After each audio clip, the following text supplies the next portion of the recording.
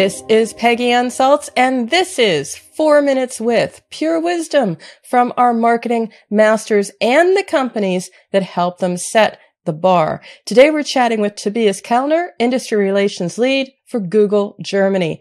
Tobias, tell us what you do there. I work as an industry relations lead for Google in Germany, which means that I'm managing our activities with advertising trade bodies, particularly in Germany, to make sure we are contributing to a responsible advertising ecosystem, which obviously also includes the MMA. Google's mission has always been to focus on the user and everything else then will follow. And so we have seen in numerous studies that consumers, be it in Germany, in Europe, or even globally, want more control over how their data is, you know, handled and shared.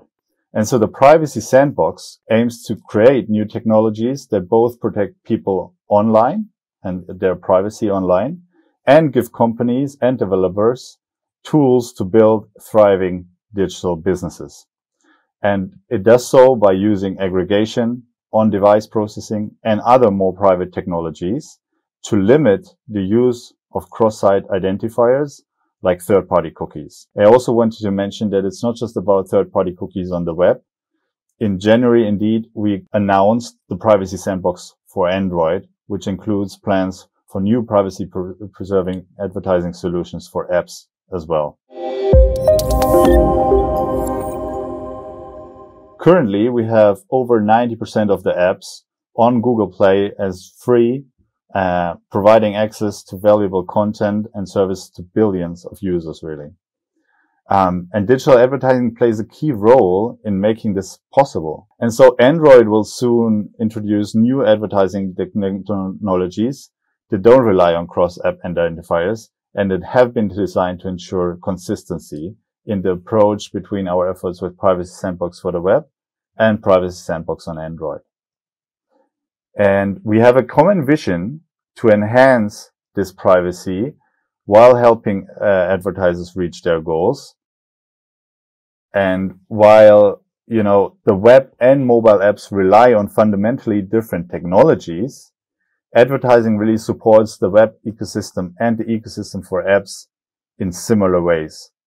And so we expect the Android APIs to be available for testing later this year.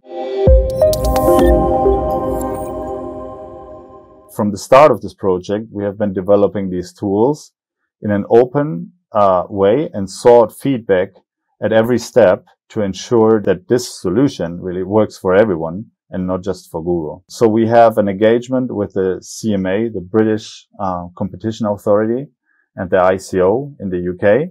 And we have come up with a set of commitments uh, for how we plan to design and implement the privacy sandbox uh, for the web.